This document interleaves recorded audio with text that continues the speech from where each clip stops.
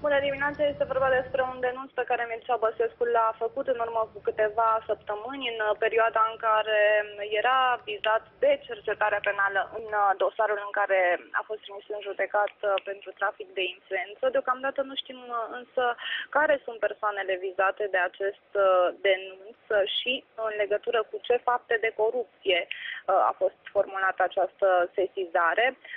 Pe de altă parte, în urmă cu câteva zile, avocatul lui Mircea Băsescu a depus la Direcția Națională Anticorupție o scrisoare pe care uh, Mircea Băsescu a primit-o în arest de la Nati Meir, o scrisoare uh, referitoare la presupuse fapte de corupție uh, legate de avocatul Pavel Abraham, în care explica Nati Meir cum uh, Pavel Abraham uh, i-ar fi uh, propus să îi dea bani pentru a interveni la anumiți magistrați. Rămâne de văzut așadar despre ce, cine este vorba în acest nou dosar în care, iată, de această dată Mircea Băsescu este audiat în calitate de denunțător și, bineînțeles, dacă probele și declarațiile sunt întemeiate astfel încât să se deschidă un nou dosar penal.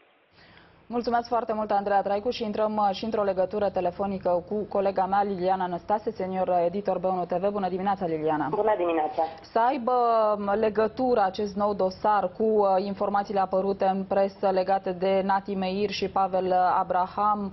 Uh, ne aducem aminte că Nati Meir spunea că Pavel Abraham îl îndemna să facă tot felul de declarații împotriva președintelui și așa mai departe. Să aibă legătură cu asta și care ar fi traseul dosarului de aici înainte pentru a se ajunge la deschiderea unui dosar penal?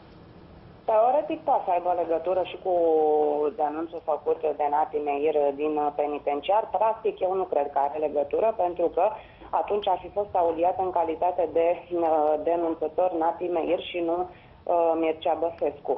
Uh, uh, cel mai probabil uh, este vorba despre Uh, anumite fapte pe care uh, le cunoaște Mircea Băsescu și a ales să le uh, denunțe la DNA. În funcție de probele pe care procurorii anticorupție le obțin în urma acestui denunț, se va decide dacă se începe urmărirea penală împotriva persoanelor denunțate sau dacă se iau anumite măsuri preventive împotriva lor.